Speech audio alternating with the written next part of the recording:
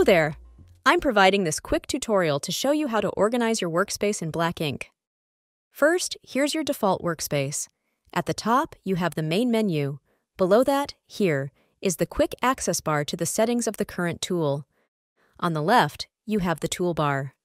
And then you have three animated layouts on each side that allow you to stack many panels. To hide them, press Ctrl along with the left arrow key for the left layout, the down arrow key for the bottom one, and the right arrow key for the right one. To show them again, press Ctrl along with the left arrow key, then the down arrow key, and finally the right arrow key.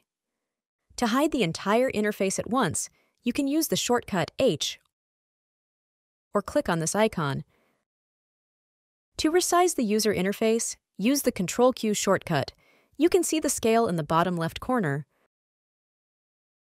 Or go to the black ink icon here and resize your interface using the slider. To return to 100%, click on this icon. Regarding layouts, you can easily resize them by stretching the area like this without losing their display properties. I'm roughly back to my initial size. To remove panels from the layouts, grab the tab of the desired panel and drag it out of the area. You can leave it floating or on a second screen.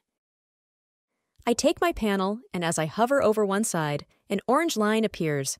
Upon release, it stacks into that area. I'm moving my window to my second screen for better convenience, and I'm enlarging it. If you close the window, you can display it again going to the Window menu. To save your workspace, go to Edit, then Preferences. Here, I'm saving it and naming it so I can easily find it again.